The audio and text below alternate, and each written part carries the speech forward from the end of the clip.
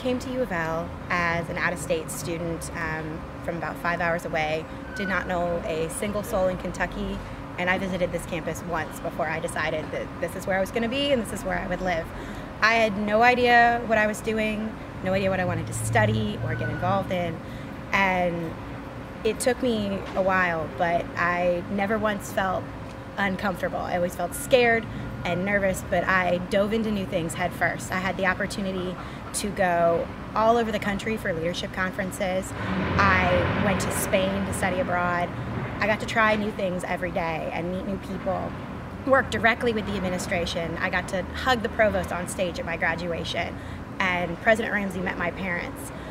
And every bit of that has come back to who I am now. Every project I worked on at U of L, every moment or idea that I had with let's do something new, uh, they listened, they responded, and you can walk through campus and see those projects that I worked on.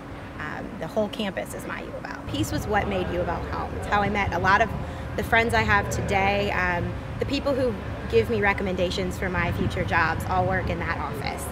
I was able to work to make campus um, the accepting and empowering environment that it is for women. And then I was also able to help women in need if they did encounter a situation, whether they needed counseling or just someone to talk to. I was able to work with that through the PEACC office. Every every second of my time at U of L was comfortable and empowering. Um, I felt that as a woman, it's a, it's a great place to be.